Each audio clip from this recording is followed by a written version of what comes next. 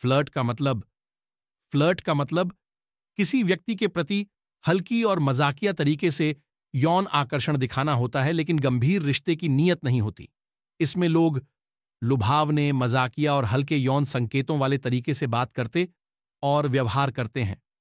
उदाहरण के लिए कोई व्यक्ति लंबी नज़रें डालकर किसी की उपस्थिति पर प्रशंसा करके मज़ाक उड़ाकर या बातचीत के दौरान हल्के से उनकी बाहों या हाथों को छूकर फ्लर्ट कर सकता है। फ्लर्ट करना रोमांटिक रुचि और आकर्षण को व्यक्त करने का एक तरीका है। बिना गहरे भावनाओं या गंभीर इरादों को साफ़ किए।